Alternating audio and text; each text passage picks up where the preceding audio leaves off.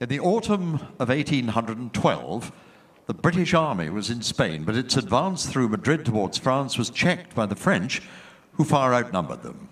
With ammunition and equipment running desperately low, Viscount Wellington's half fed and poorly clothed army was forced to retreat into Portugal. During the remaining months of 1812 and into the spring of 1813, the British army was retrained and reorganized.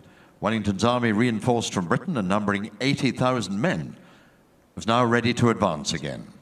In May, Wellington crossed the frontier back into Spain, and moving swiftly through the country and the mountains, he swooped down on the French army, encamped near Vittoria.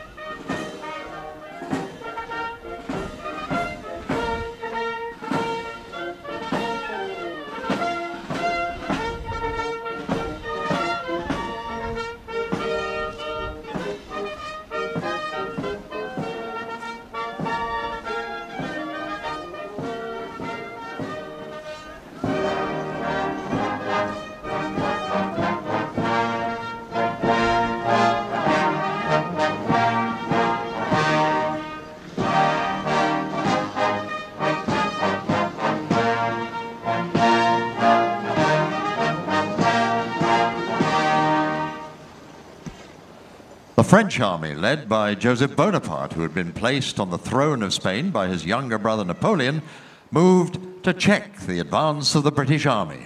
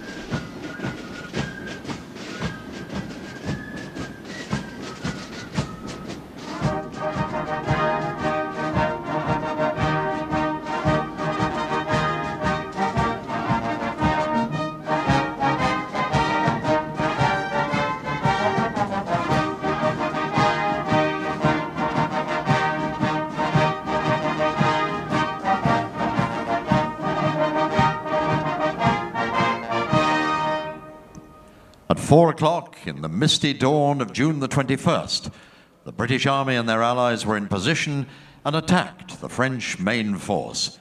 First, French cannon checked the Allied advance, but the British artillery opened fire and within half an hour had so weakened the enemy that the general advance was able to continue and for 12 hours the battle raged on.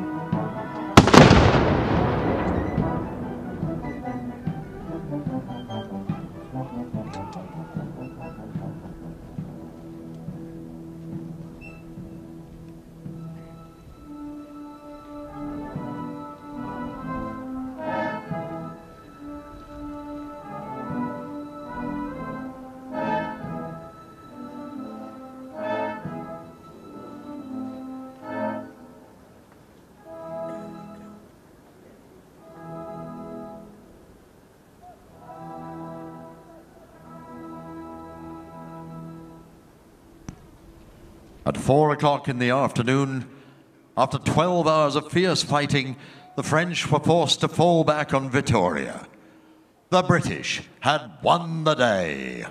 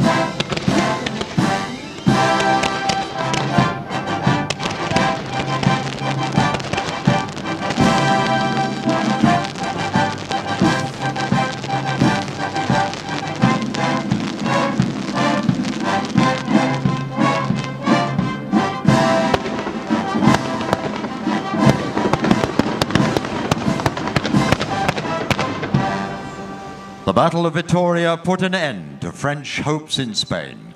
It was a glorious success for Viscount Wellington, who was promoted Field Marshal, and upon his return to England at the conclusion of the campaign, was created Duke of Wellington.